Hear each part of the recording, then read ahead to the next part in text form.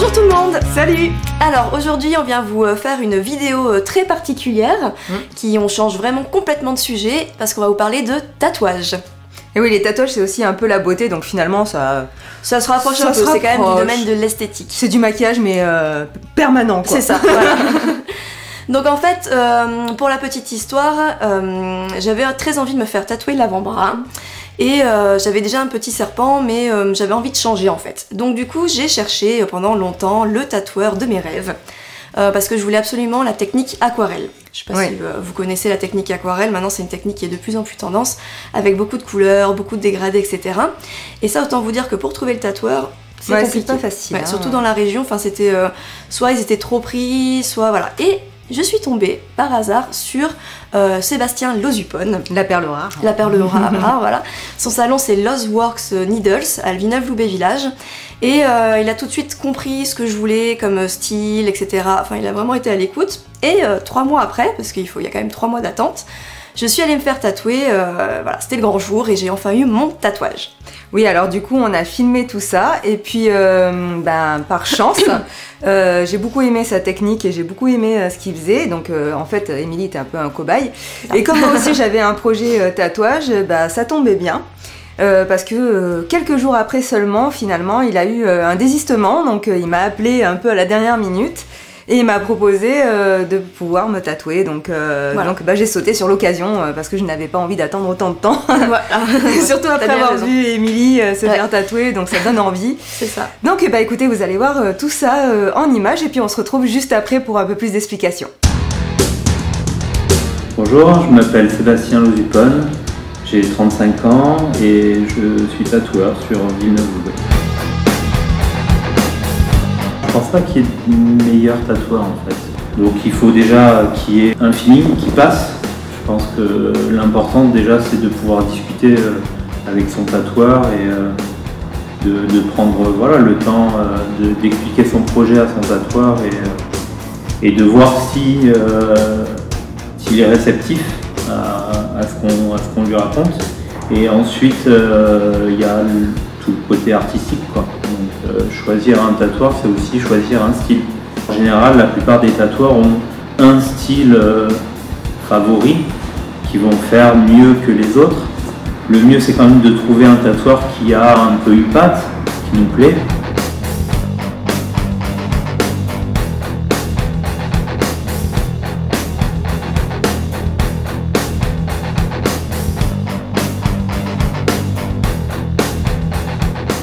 Le, tarif, euh, ça varie en fonction euh, ben, déjà de, termes, en termes techniques, euh, de taille, si c'est de la couleur ou noir et blanc, la, euh, la complexité du tatouage, plus il va y avoir de détails, plus ça va être réaliste, plus c'est compliqué. Et après, ben, ça dépend aussi de la notoriété du, du tatoueur. Et puis, en fait, le tatouage, c'est c'est, un peu comme, euh, un peintre ou comme un artiste euh, qui va faire des sculptures ou autre. C'est très subjectif au final. Ça reste de l'art. Donc, euh, comment donner un prix à une œuvre d'art?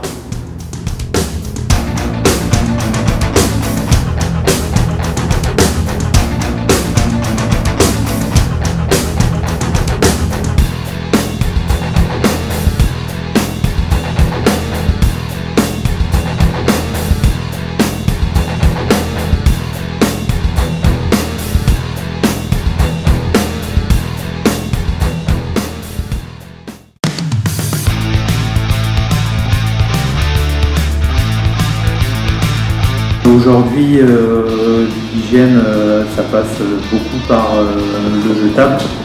Mis à part la machine qu'on garde, je veux dire, tout ce qui est sur le poste va être jeté. Donc, ça comprend les petits caps où on met l'encre, l'encre qui a servi pour le tatouage, la euh, le papier, enfin tout ce qui est sur le poste, y compris l'aiguille.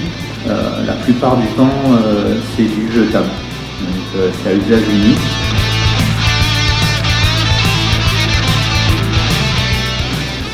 Pour garder un tatouage le plus beau possible le plus longtemps, il falloir euh, prendre soin de sa peau, tout simplement en fait.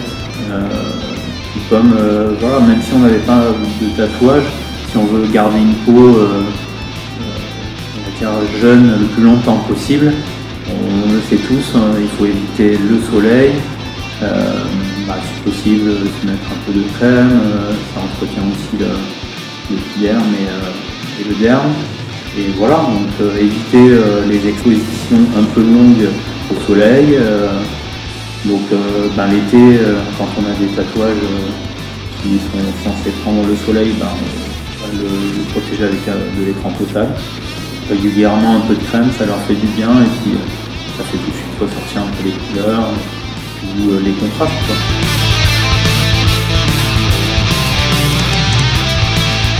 commence à y avoir des écoles qui se montent, mais c'est plus un métier euh, qui se transmet.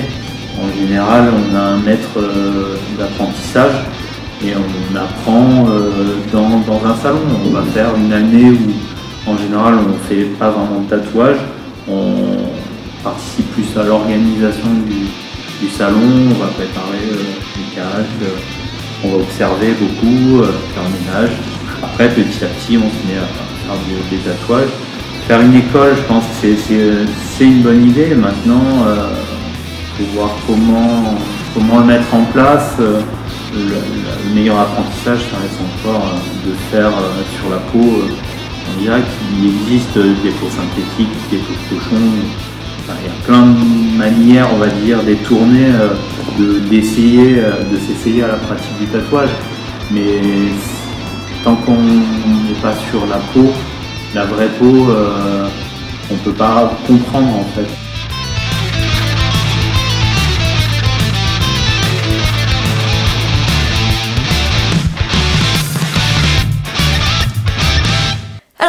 Petite vidéo euh, est terminée. Donc comme vous avez vu, euh, Sébastien a répondu à pas mal de nos questions euh, sur l'hygiène du tatouage, comment choisir son tatoueur, etc.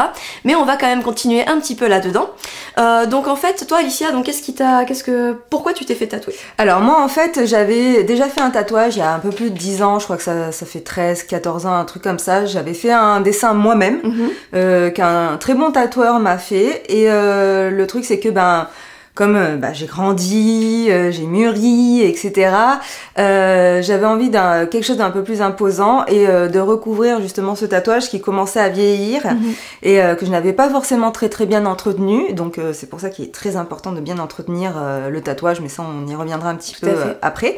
Et donc je voulais vraiment le, le recouvrir et je voulais euh, vraiment quelque chose de très euh, géométrique, quelque chose qui me corresponde beaucoup, mais en même temps avec des touches de couleur parce que parce que j'aime la couleur dans les tatouages. De toute façon le tatouage c'est vraiment un état d'esprit pour moi je trouve.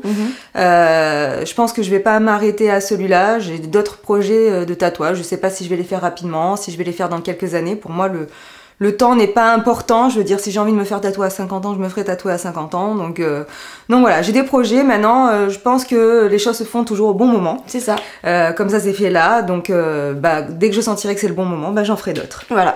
Alors moi pour ma part, euh, je, mon père a été tatoué très vite et euh, on adore les tatouages dans la famille. Donc Mm. du coup j'ai commencé très tôt, trop tôt. Je ne vous conseille pas de le faire parce que c'est pas bien.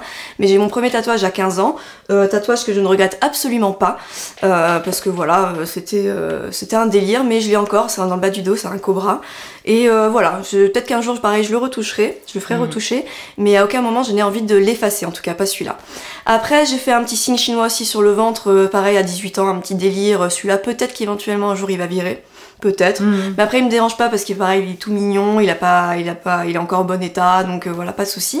Et puis euh, pour l'avant-bras, bah moi j'avais vraiment, en fait, je crois que j'ai vraiment envie d'être tatouée, un peu partout. Je crois que c'est vraiment une envie que j'ai Ouais. depuis toujours.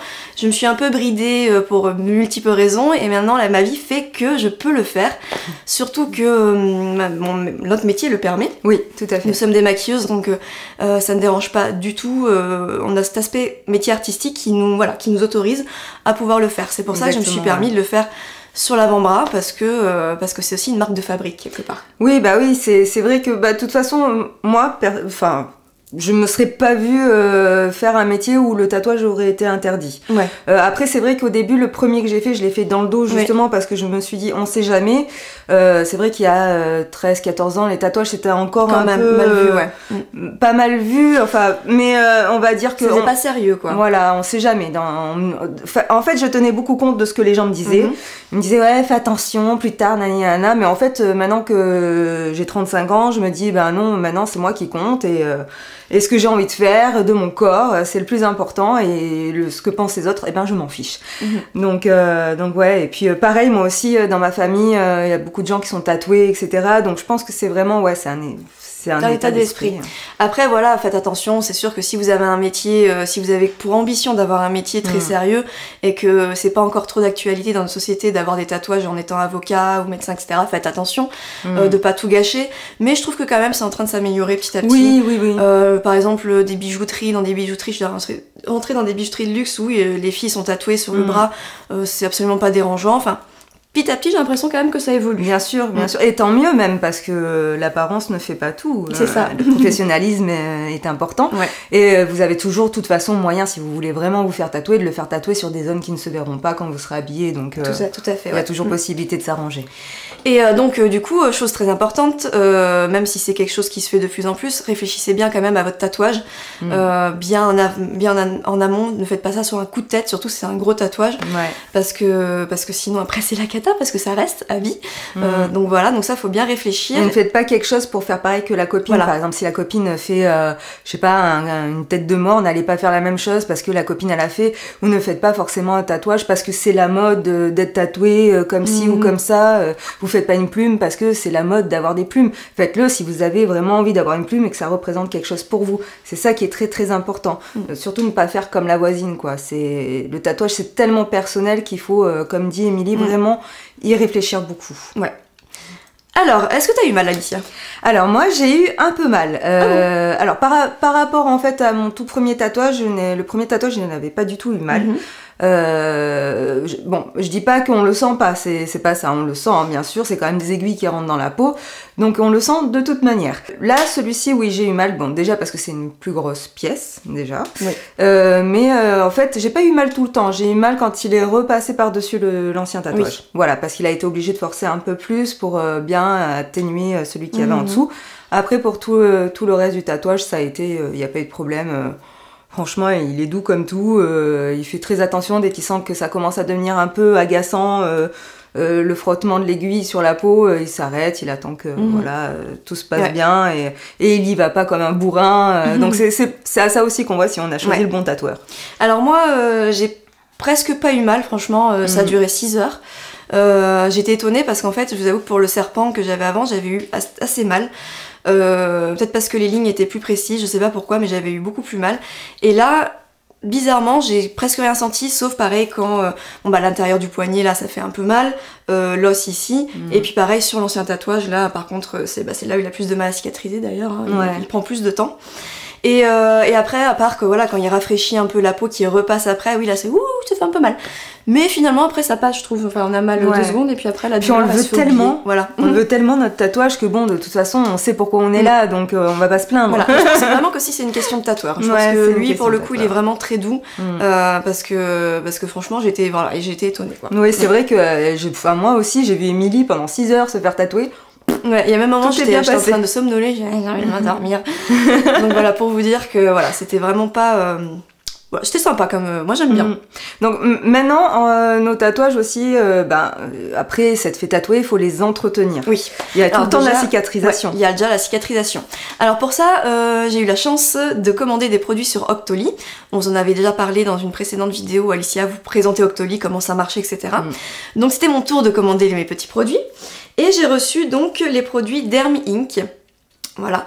Euh, donc il y a le gel nettoyant euh, tatouage et le baume après tatouage. Donc c'est vraiment une marque spécialement faite pour ça. Et euh, voilà, c'était l'occasion de, de les tester. Et écoutez, bah ça a l'air de bien se passer en tout cas. Je suppose que le savon, c'est un savon euh, pH doux, parce que Oui. moi, c'est ce que m'a dit Sébastien. En fait, quand on nettoie son tatouage après s'être fait tatouer pendant une ou deux semaines, faut bien le nettoyer euh, une à deux fois par jour pour ensuite mettre de la crème, etc. Mhm. Et il faut vraiment que les, les produits et un pH doux, euh, pas du tout acide ou quoi, parce que euh, bah, c'est un c'est quand même une plaie en fait. Mhm. Euh, comme les aiguilles sont, ont tapé plusieurs fois dans la peau, il y a quand même plein de petits trous dans votre peau et donc vous êtes euh, pas à vif, mais Mhm. voilà, faut faire attention de pas mettre n'importe quoi. Moi par exemple, il m'a dit euh, si tu as un chat, fais attention avec l'hygiène et tout, que ton chat se frotte pas euh, sur tes tatouages. Donc euh, voilà, les produits c'est super important et moi je trouve ça vraiment euh, très sympa ces, ces, ces petits produits parce que je savais même pas que ça existait en Oui, fait. non, moi non plus. Donc c'est plutôt une bonne surprise. Ouais. Pour le baume après tatouage, euh, donc c'est un baume qui contient de l'algisium, actif reconnu pour ses qualités régénératrices. Sa texture onctueuse permet une absorption optimale sans laisser de film gras, non collant, ça c'est vrai, formulé sans parfum, très important bien sûr. Euh, résultat, la capacité de régénération est amplifiée, le confort de- et l'apaisement ressenti sont exceptionnels. Voilà, donc ça c'est complètement vrai parce que c'est vrai qu'au bout d'un moment, le tatouage il commence un peu à gratter. Là, ça fait une semaine et euh, c'est vrai que ça commence un peu à. Ça pèle. Bon, alors, un tatouage, il nous a dit, un tatouage qui pèle, c'est un tatouage qui cicatrise bien. Un tatouage qui fait des croûtes, c'est pas bien. c'est pas bien. Euh, donc là, pour le coup, c'est vrai que tout se passe bien, il pèle. Surtout, n'arrachez pas les croûtes, surtout Mm. n'enlevez pas les peaux qui pèlent, laissez faire le temps, autant. Euh, tout se fait naturellement. Et c'est vrai que quand je mets ce euh, gel, euh, ce baume, c'est vrai que ça me fait du bien et que ça Ouais. pénètre quand même assez vite. Ça colle pas aux vêtements, c'est assez. euh, Non, mais Mhm. franchement, il est bien. Un très très bon produit. Alors moi j'utilise euh, le baume que Sébastien m'a vendu parce qu'il vend des, des baumes Mhm. aussi euh, dans, dans, sa, dans son studio de tatouage. Ouais. Donc moi c'est euh, ça s'appelle Scarlet Scar. Euh, c'est un baume naturel pour tatou. Donc en fait dedans il n'y a que des produits naturels. Euh, ce n'est fait qu'avec euh, des produits à base de plantes. C'est pas bio mais ça pourrait l'être. Et en plus alors il est il est comme ça dans un petit pot. Mhm. Voilà. Un petit format de poche, petit quoi. format de poche. Et il sent, il sent un peu, euh, il, est, bah, il sent les plantes quoi. Oui, il sent fort. Il sent fort, il sent les plantes, mais moi c'est, c'est une odeur que j'adore. Donc, Mhm. euh, donc voilà, c'est assez épais euh, et je peux vous dire que quand mon chéri me, me passe la crème sur le tatou, ça me fait un bien. je vous raconte pas parce que oui, moi, moi, il est dans le dos alors c'est un peu compliqué. Oui, c'est juste l'excuse pour que. Voilà. Je, hein, voilà. Donc voilà, donc pour ces produits Derm Inc., vous pouvez les trouver sur leur site internet directement. Et de toute façon, Ouais. je vous mettrai le lien euh, juste en dessous de la vidéo. Et dans l'article, bien sûr. Et donc, après, une fois que vous avez euh, fait cicatriser votre tatouage, donc ça, au bout de, il nous a dit au bout de deux semaines. Ouais, à peu près deux semaines, moi, il m'a bon, faut compter quand même un mois à bien entretenir son tatouage, quand même continuer. Mais c'est vrai qu'au bout de deux semaines, normalement, le tatouage, il est, il est bien cicatrisé. Ouais. Mais après, comment l'entretenir? Alors, le mieux, c'est comme pour tout, hein, tout ce qui touche à la peau, de toute façon, faut la protéger du soleil. Mhm. Donc, évidemment, euh, votre tatouage, vous allez aussi le protéger du soleil. C'est-à-dire que vous allez prendre au moins une crème indice 50. Ouais. C'est le minimum. À chaque fois que vous vous exposez au soleil, euh, c'est obligatoire. C'est obligatoire. Ouais. Déjà parce que ben il faut il faut le protéger du soleil, mais en plus il faut aussi euh, l'hydrater. Mhm. Donc essayez, même si euh, si vous avez euh, si vous mettez pas au soleil, etc. Quand vous sortez de la douche, essayez de lui mettre de la crème de temps en temps. Ça Mm. ne peut que lui faire du bien. Souvent le- la question qui revient, c'est ouais, mais quand tu vas vieillir, ça va être moche, gna gna gna. Euh, donc vous voyez mon ton, hein, déjà je. mais euh, mais voilà, c'est euh, ça, ça c'est votre personnalité. Euh, Nous on a l'habitude de voir nos parents, notre famille, des gens dans notre famille euh, vieillir avec les tatouages et ça nous choque pas du tout parce que euh, parce que ça fait partie d'eux. Mhm. On les a toujours vus avec et limite on, le, le tatouage on le voit même plus, je veux dire. Et euh, moi de toute façon je kiffe les mémés avec des tatouages. J'ai l'impression que j'ai l'impression qu'elles ont eu une vie de fou. C'est clair, c'est clair. Et puis quoi qu'il arrive, on vieillit, donc la peau, quoi qu'il arrive, elle vieillit, elle devient Ouais. moche. Donc euh, je veux dire, avec ou Voilà. sans tatouage, c'est un peu la même. Quoi. moi je préfère avec tatouage. même. Non, c'est clair. Euh, surtout pour le choix de votre tatoueur. Voilà, Ouais. très important ça aussi. Prenez vraiment un tatoueur qui, qui, qui corresponde au style que vous aimez. Mm. Euh, par exemple, moi quand j'ai fait mes recherches de tatoueurs, je suis tombée sur plein de tatoueurs excellents, mais voilà, ils étaient plus dans les tripes mandala, euh, tu Mm. sais, euh, les trucs avec des traits très Maori, fins, maori, euh. voilà, tous ces trucs-là, ou euh, vintage, euh, old school. Donc très très chouette, mais moi c'est pas ce que je voulais, je voulais vraiment l'aquarelle. Mm. Donc je savais que si j'allais aller voir ces tatoueurs, ils auraient pas forcément pu répondre à ma demande.